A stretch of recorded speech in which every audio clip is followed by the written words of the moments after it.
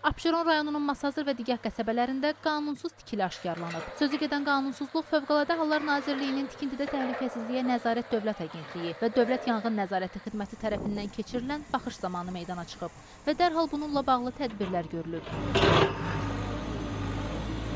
Müvafiq icazə sənədləri olmadan, həmçinin yanğın təhlükəsizliyinə dair normativ sənədlərin tələbləri pozularaq aparılan tikinti işlərinin qarşısı aidiyyatı qurumlar tərəfindən alınıb və obyektlər sökülüb.